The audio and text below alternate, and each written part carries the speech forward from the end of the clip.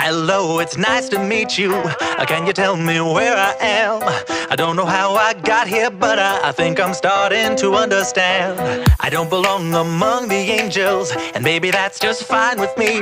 The things I did up there were high school, but now I'm going for my degree.